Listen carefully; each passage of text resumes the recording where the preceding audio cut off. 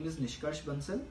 Uh, I my I have a total work experience of two years uh, in the data science industry. My area of expertise is basically I'm a product guy.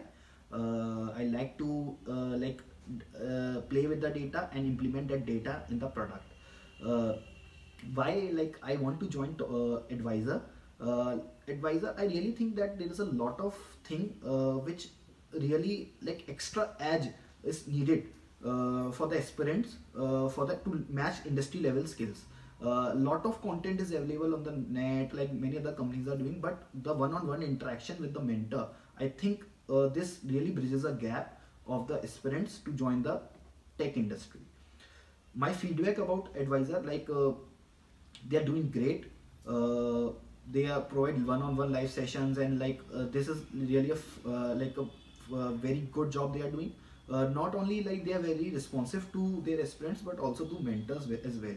Uh, they like uh, help us whenever like they are their operations team are very responsive and i really appreciate Edwisor. All the best Edwisor